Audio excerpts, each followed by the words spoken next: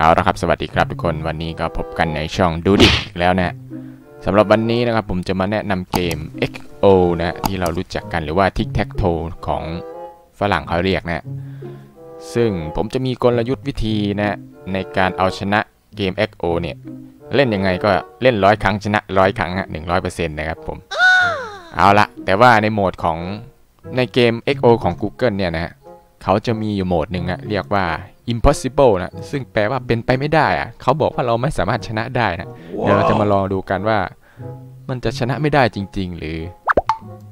มันจะชะชนะไม่ได้จริง ๆ หรือเปล่านะโอเค เดี๋ยวเรามาลองดูสำหรับใครที่อยากจะเล่นนะพิมพ์ไปที่ Google แล้วเนี่ย tic tac toe ครับผม T I เนี่ยผมพิมพ์มาแล้วเนี่ย T I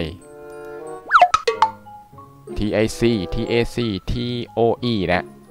ก็ลองเล่นดูเดี๋ยวผมจะลองเล่นแบบ easy ดูแล้วกันนะครับ ว่าเล่นยังไง เดี๋ยวผมจะเปิดเผยให้ดูด้วยครับว่า เล่นแบบไหนนะครับ ถึงจะชนะ 100%โอเค เดี๋ยวผมลองเล่นให้ดูนะ โอเค มา จะเปิดตรงไหนก็ได้ฮะโอเค คู่ต่อสู้มาลงตรงนี้นะ อ่า ผมต่อจากต่อตรงนี้ อ่า โอ้โห easy นี่มัน easy เกิน ชนะนะ เดี๋ยวผมลองปรับไปเป็นมีเดียมดีกว่า นะ โอเคทุกคน มาดูกลยุทธ์การชนะแบบ 100%ของผมนะครับ เมื่อกี้ผมการตรงกลางใช่ปะโอเค ผมเล่นอีกสูตรหนึ่งสูตรไหนก็ได้ ตรงไหนก็ได้นะ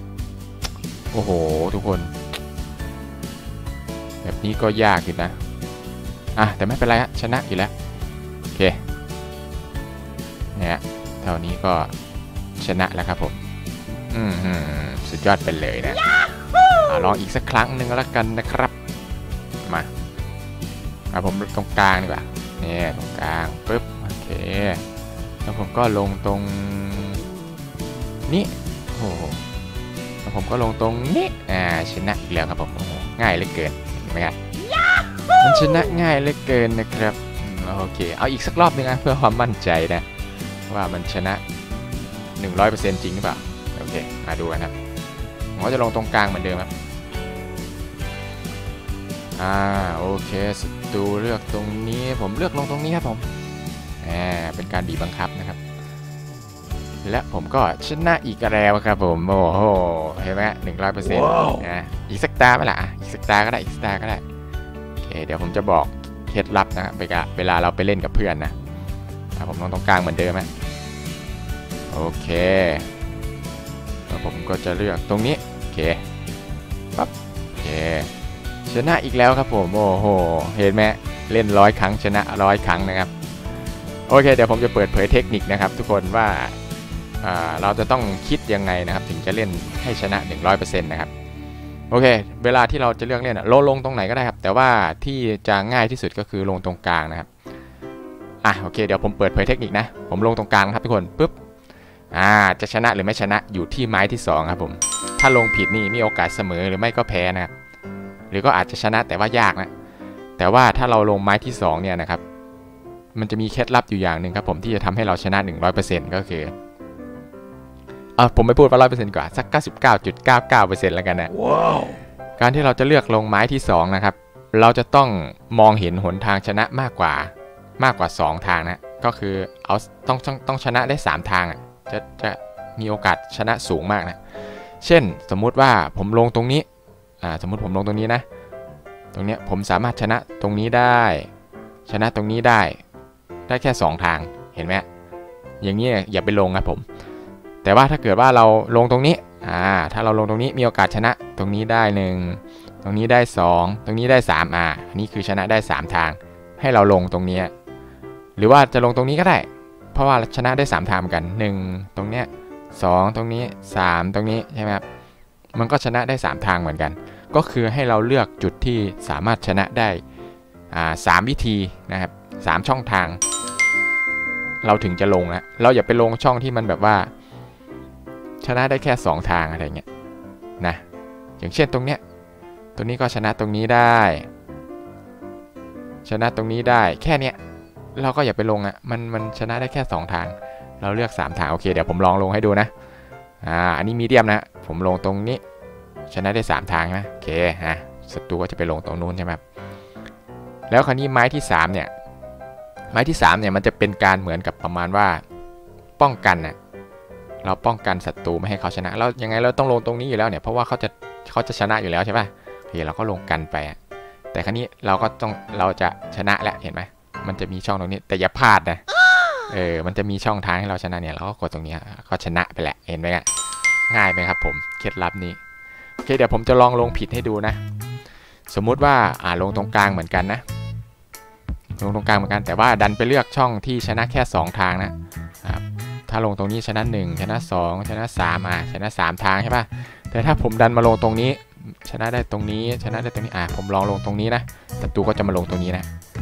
อะโอเค มาดูกัน คราวนี้เราจะทำได้แค่เสมอแล้ว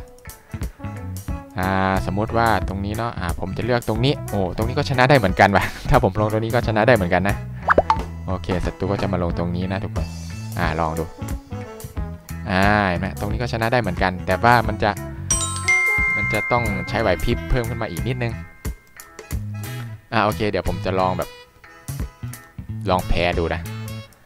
อ่าผมลงตรงนี้แล้วผมมาลงตรงนี้อย่างเงี้ยตรงนี้ไม่ได้แล้วชนะแค่แค่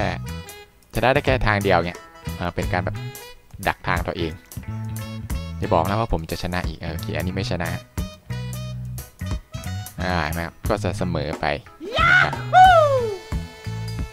เอาล่ะเดี๋ยวมาลองลงแบบด้านข้าง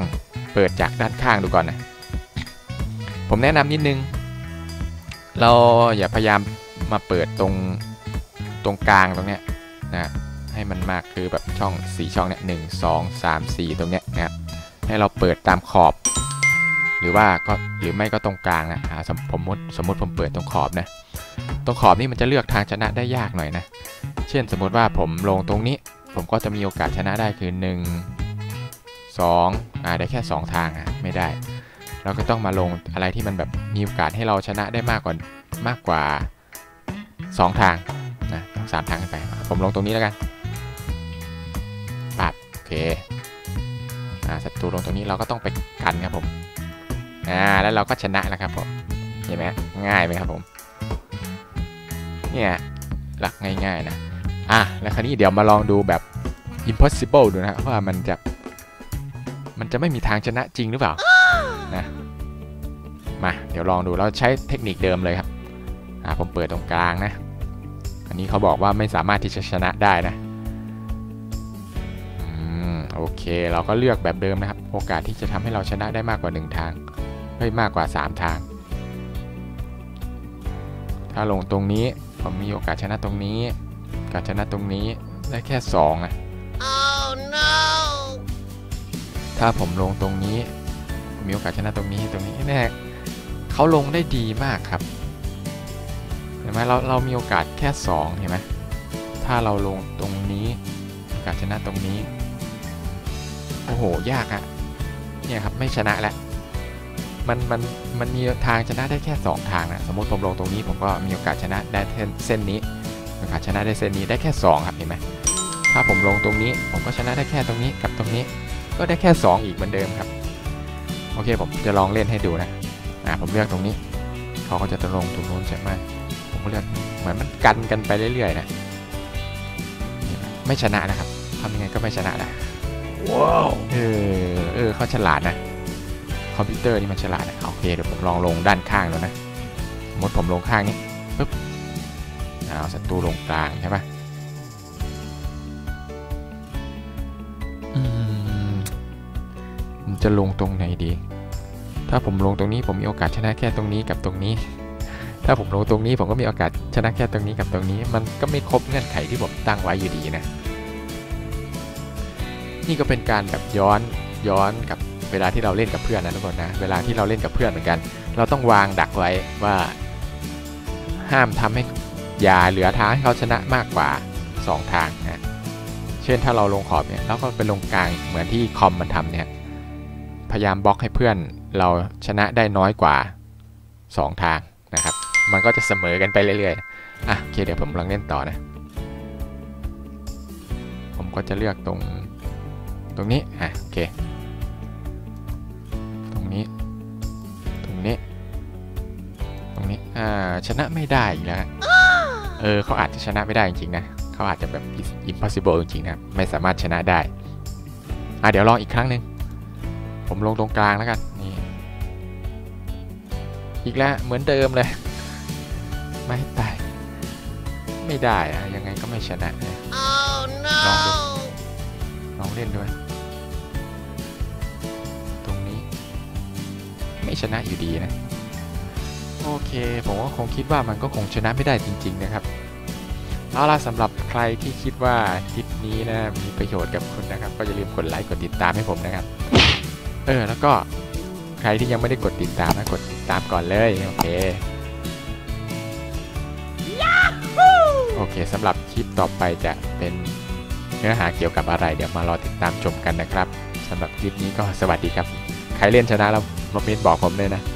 แบบ impossible นะเนี่ยเนี่ย impossible เนี่ยใครเล่นชนะเราอย่าลืมมาบอกด้วยนะว่าทำยังไงถึงจะชนะนะครับ โอเคสำหรับคลิปนี้สวัสดีครับ